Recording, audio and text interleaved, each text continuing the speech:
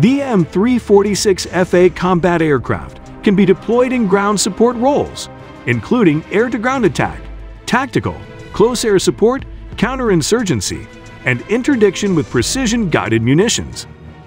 It is also suited for pilot training, air-to-air combat, air policing, airborne tactical reconnaissance, and airspace control missions. The M346FA fighter attack aircraft features a digital glass cockpit accommodating two crew members in tandem configuration. The cockpit incorporates LCD multifunction displays, head-up display, night vision goggle device, voice command system, self-protection system, helmet-mounted display systems, navigation and communications, and traffic collision avoidance system.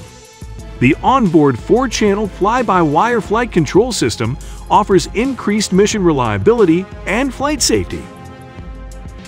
With a maximum takeoff weight of 10,400 kilograms, the combat aircraft can carry various external loads such as GPS-guided slash laser slash unguided air-to-air and air-surface weapons, bombs, and targeting pods to attack air and surface-based targets.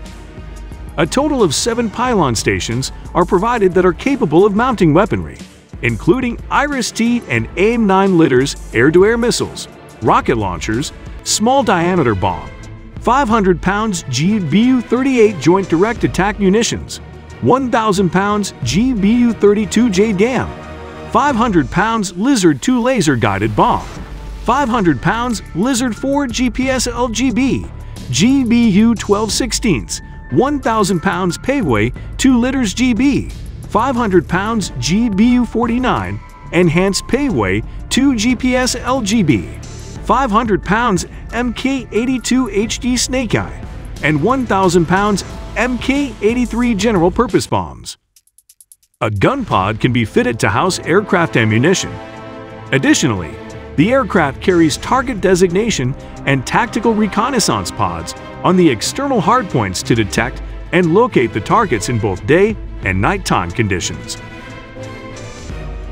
The M346FA light attack aircraft is outfitted with Leonardo's Grifo multi-role, multi-mode, X-band fire control radar to search and track single or multiple targets in air-to-air, air-to-surface, and air combat modes.